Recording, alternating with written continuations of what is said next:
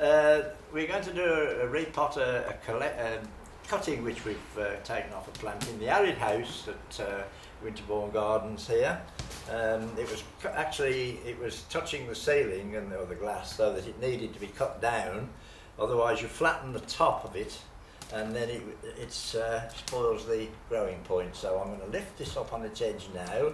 It's already been uh, uh, dried off at the bottom to make a, s- a scar, and it's, we're going to put it into our pot here, which we've put, filled about half full of soil and tamped it down. Okay. Um, my colleague Arthur here will uh, now put some more soil around the base, and uh, it'll need some sticks in order to keep it upright because it's quite heavy. Top here, quite heavy. We can just uh, put a bit of grit in top of there now. Don't cover the flesh of the plant too much with the soil. We put grit on top of it, which we've got here. You hold on there. And I'll put the grit down there. That will help us to steady it in the pot, but not steady enough to keep it from rocking over and falling over if it gets moved.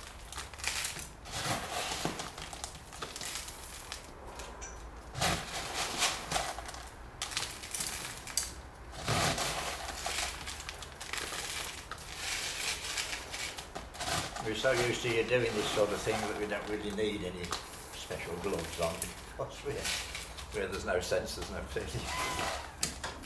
With me. okay, we'll leave it at that then. So we'll put some sticks in now in order to uh, just keep it upright while it's uh, going to root.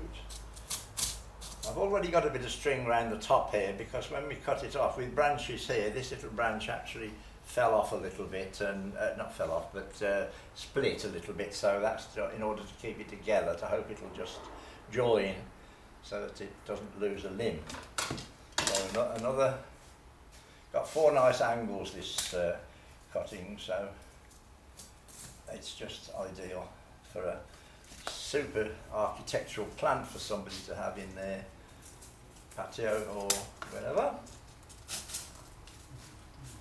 Now, I'm not going to use that string to hold the sticks because uh, the sticks have gone down to the bottom of the pot and I'm going to put fresh string round. So I'll put some down the bottom just to start with.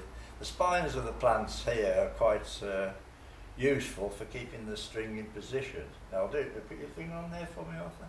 Uh, I'll just do a knot in there. That's perfectly okay to keep it uh, together with the with the sticks.